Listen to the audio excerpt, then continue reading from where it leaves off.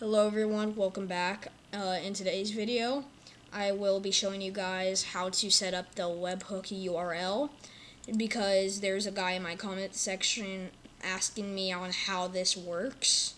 So I'll just show you how it works. First, you want to go to your Discord server and all you want to do is just make a server. Or if you already have a server, make a thing, make a channel and then it's press edit channel or settings for channel, whichever one it says for you. Go to integrations and go to webhook. Once you are in webhook, it's gonna say create webhook, but for me, since I already have one, it should say new webhook, but I'm not gonna do that. Once you're here, it's gonna just have like a bot name and then the channel and then all you want to do is just copy webhook URL.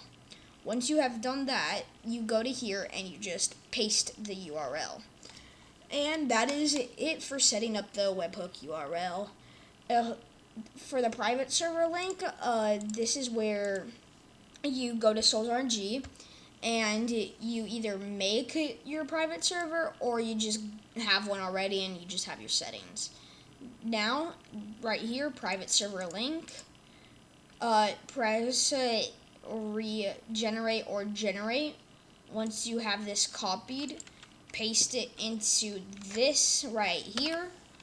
Once you have this right here, all of that, this is the webhook URL, or not the webhook URL.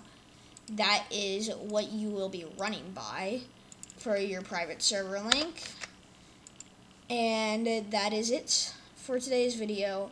If you did enjoy, consider liking and subscribing, and I'll see you guys in the next one. Peace.